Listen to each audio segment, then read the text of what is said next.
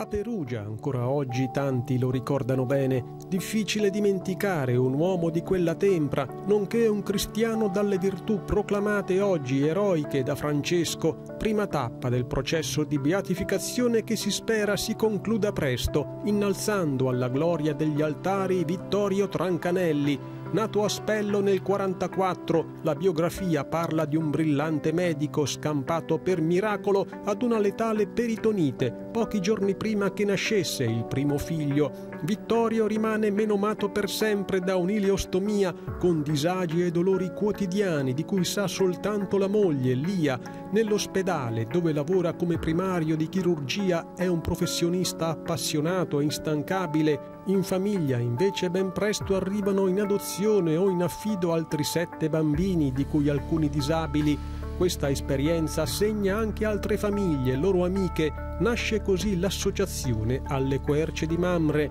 dedicata a famiglie e soprattutto bambini in stato di necessità. Vittorio è anche un appassionato di lingua ebraica e di studi biblici, coi quali nutre la sua fede cristiana e l'amicizia con molti ebrei Un'altra grave malattia però lo consuma per sempre in soli tre mesi. Muore nel 98 a Perugia, già circondato da quella fama di santità che oggi ha avuto una parziale, sì, ma significativa conferma